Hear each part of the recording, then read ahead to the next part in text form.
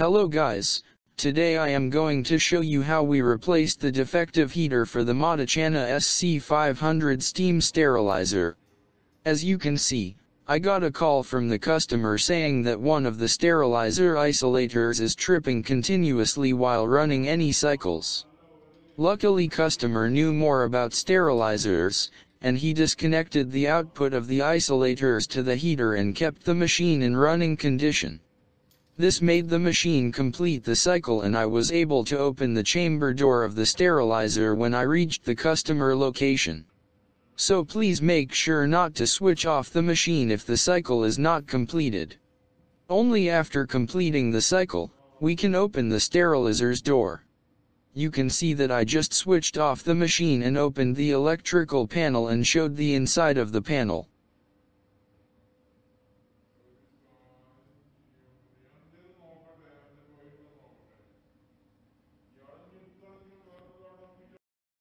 On this image you can see that the customer disconnected the heaters and was not tripping anymore.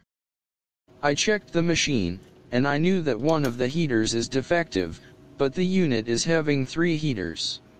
I need to find out which heaters are defective. Here you can see that, I just switched on the machine again from the inside and then went to the main screen and switched on the machine from the outside by pressing the outer on button. Once the machine is on, you can log into the service mode and switch off the steam generator, with that you can supply to the heaters.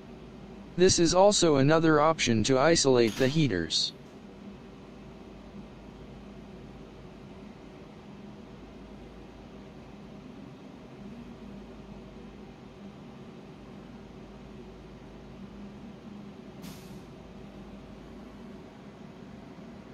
Next, I just put the machine in service mode. As you can see that see now the display is showing that the equipment is pending repair and the machine will be under repair mode.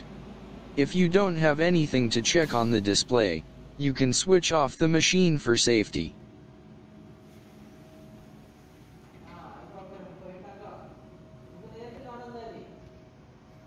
As you can see that there is a cover on top of the heaters. I removed the cover for detailed inspection. In this steam sterilizer you can see that there are like three heaters are there. I also opened the drainage valve to drain the water from the steam generator. But the water level was not coming down and I need to empty the steam generator before removing the heater.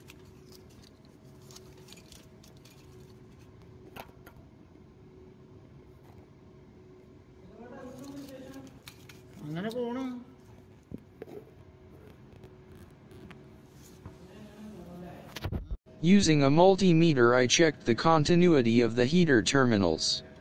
If the heater is working fine, the heater will not have any continuity.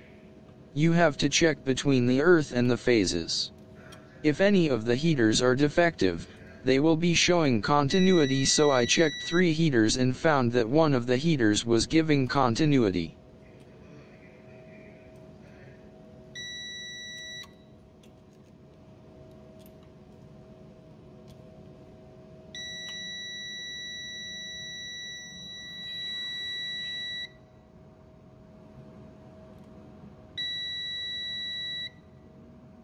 I checked the heaters with light for anything unusual and also to see how the connections of the heaters are there in the steam generator. I already opened the drainage valve, and I was trying thinking that why the water level was not coming down. Then I got an idea to remove the water from steam generator.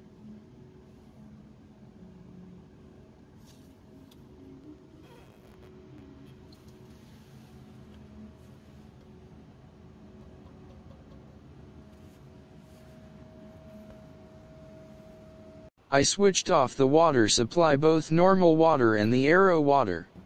There was a 230V compressor which was used in the sterilizer. I took a connection from the air compressor and connected to the steam generator.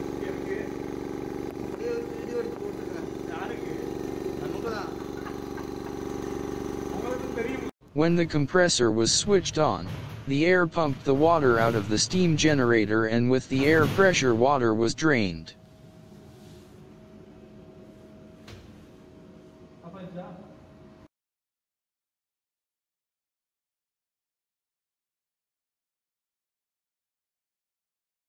there is a special tool to remove the heater from the steam generator.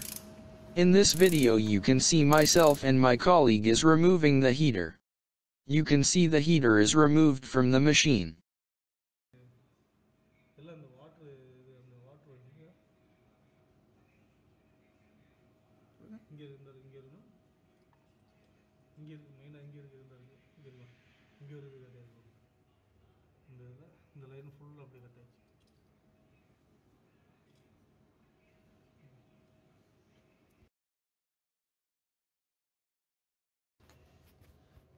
I inspected the inside of the steam generator and checked the quality of the water.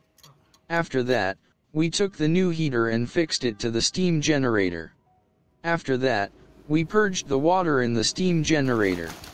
Once all the connections are put back and we confirmed that it was safe to run a cycle.